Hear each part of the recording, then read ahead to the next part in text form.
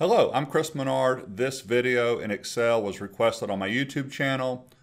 The request was when they make a chart and there are months with no data, those months appear in the chart. How can you keep them from showing up? This is going to be really fast. The two months that are missing are the month, the months of March and also the month of August has no data in here. If you're using a PC, you can do Alt F1 to put the chart here. I'm just going to use the mouse, go to the Insert tab. I'm going to put in a column chart. So here's my chart. If you notice at the very bottom, January 2022 through December 2022 is showing. I'm going to give me a right click on one of those months. Format the axis. It'll show up on the right hand side.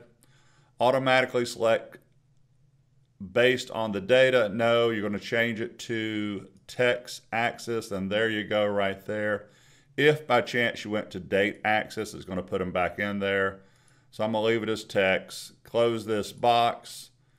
And now I do not see uh, the month of March, and I do not see the month of August. Thank you. Have a great day.